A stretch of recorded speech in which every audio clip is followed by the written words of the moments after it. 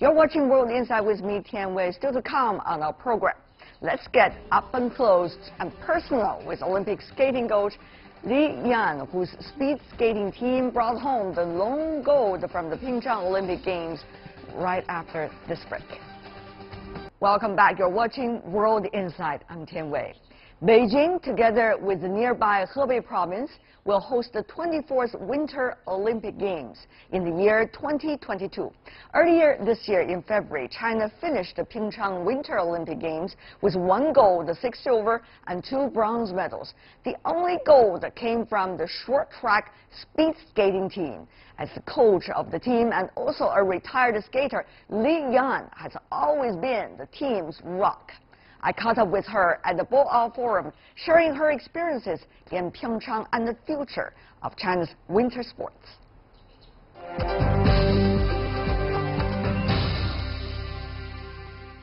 How do you assess your performance this time during the Winter Games in Pyeongchang? Um, I think we do well because, you know, gold medal always is a standard for the performance. So Wu Dajing get 500 meter gold medal and also he broke he broken uh, like uh, four times Olympic uh, re record. Olympic always hard, you know. It's because everybody expecting doing do doing very well at a certain time. With we call Olympic game.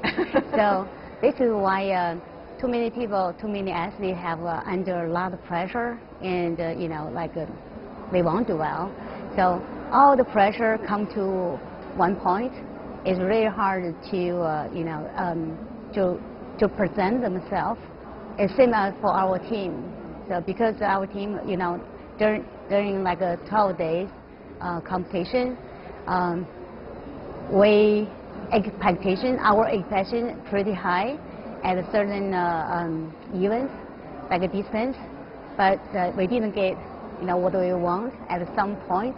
But our team spirit, like fighting spirit, still there. Mm. This gold medal is the last day, last moment. Exactly.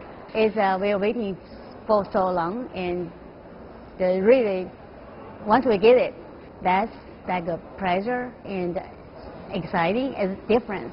Do you have to control yourself in front of your athletes? Uh, it's not. I, I, like I said, it's a practice. It's just myself. I didn't pretend to do that. Maybe at some point, little bit, uh, emotion yes.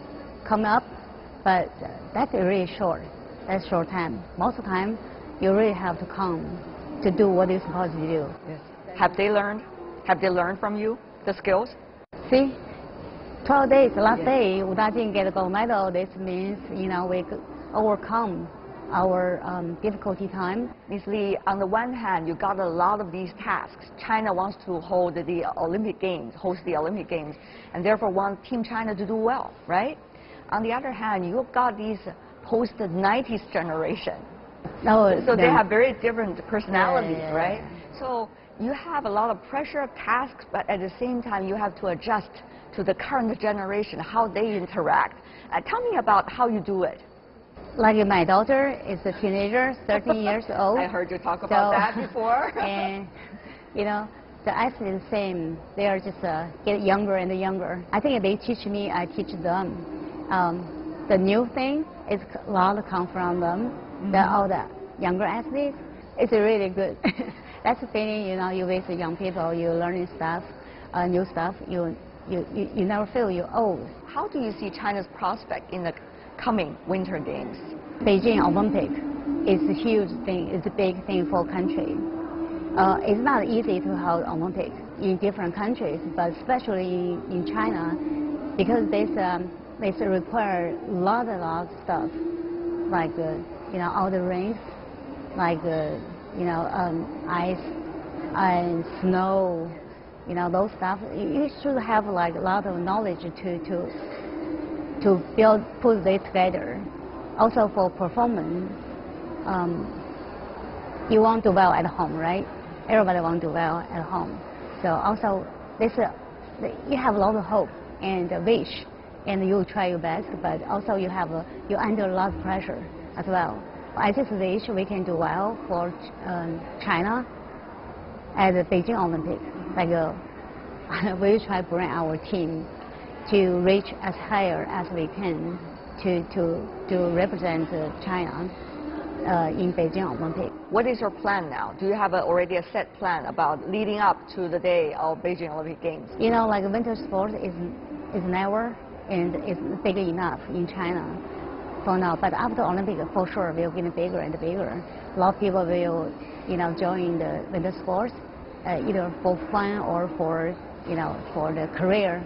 I don't know, but uh, for sure will be a lot of people there, be there um, with winter sports. The plan is uh, you should have a goal.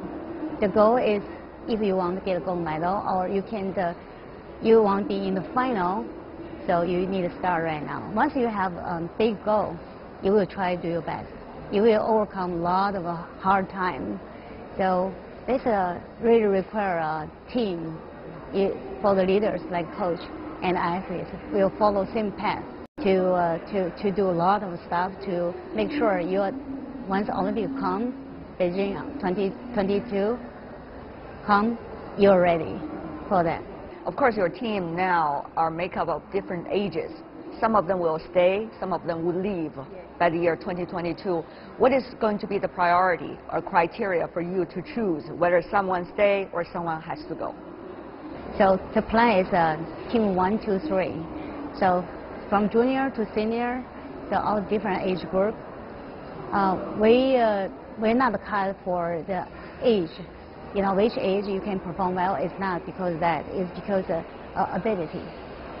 If you have ability to help in the team, if you have, have ability to to win the the medal for our country, so yes, that person will be chosen.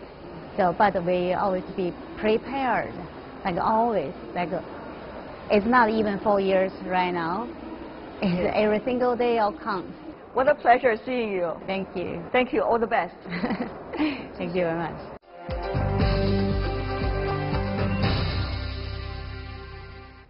Li Yan, a very well-known coach from China for the winter sports. And that is all the time we have for today. If you'd like to see more, try to find us World Insight CGTN into your search engine or check out our YouTube channel. You can also follow us on Twitter, Facebook, and Sina Weibo. From Mi Tian Wei and everyone on the World Insight team, thanks for watching. Tune in again next time for insights across China and around the world. Good night.